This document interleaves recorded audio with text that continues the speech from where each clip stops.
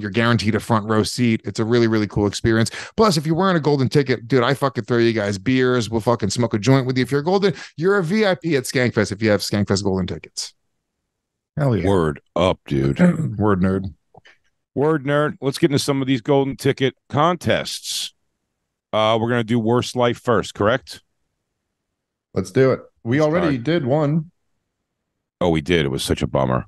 This is Um, Scotty. Looks like Krakamiko if he got got stranded on an island.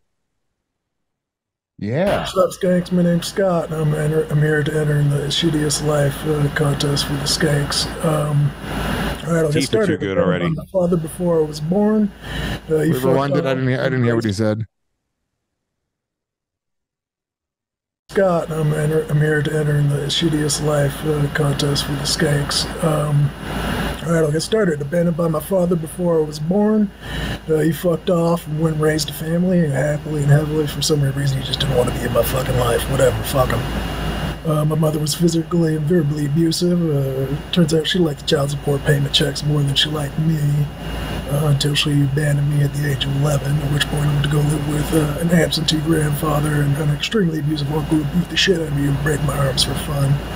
Uh, I was raped Oh, is it- He's like, I look at the interview. He's like, but I just don't care. So whatever. Fuck them. Dude, I like how he says his grandfather would break his arms for fun. And if you can get past the morality of it, that does sound fun. I feel like, Crushing imagine there was no such thing as good and evil and you just break a kid's arms. That does feel sound like- like, a fun I game. feel like he's about to sing. I see a little silhouette of a man. Scaramouche, Scaramouche. Will Uh, back that? up a little this, bit. 'cause I this think he is said, dark. yeah, this is, it's, I mean, also visibly dark.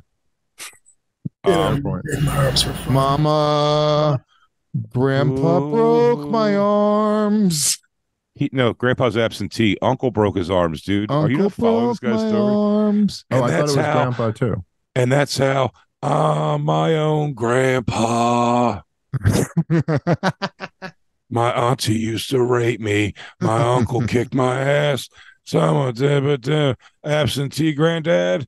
I'm my own grandpa. Good. Abusive. Uh, turns out she liked child support payment checks more than she liked me.